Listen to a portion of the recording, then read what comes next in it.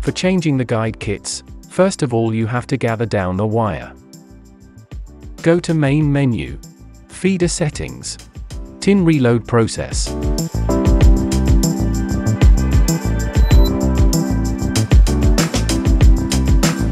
Press and hold the minus button until the wire comes out of the inlet nozzle. Otherwise, we can do it in another way. First we have to cut the wire just between the inlet nozzle and the solder reel.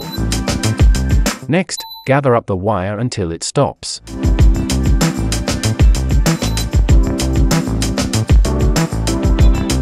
And finally, use your pliers to pull out the wire through the guide set.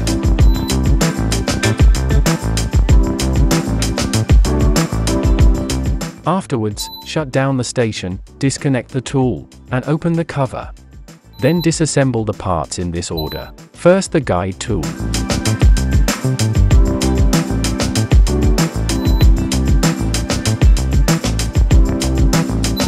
Then the inlet nozzle.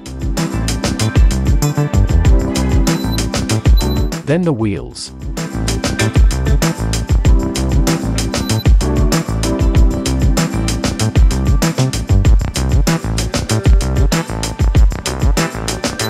Then the blade. Then intermediate nozzle.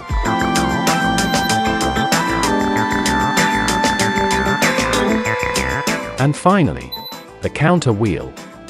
Important. Pass the Allen wrench through the hole to access the screw.